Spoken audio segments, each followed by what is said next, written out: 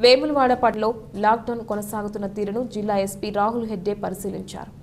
ప్రజలు ఎంత అవసరం ఉన్నా పది గంటలలోపు తమ పనులు ముగించుకొని ఇళ్ళ నుంచి బయటికి రావద్దని ఎస్పీ రాహుల్ హెడ్డే ప్రజలకు సూచనలు ఇచ్చారు. ఈ కార్యక్రమంలో పట్టణ సీఐ వెంకటేష్ ఎస్ఐలు పోలీస్ సిబ్బంది తదితరులు పాల్గొన్నారు.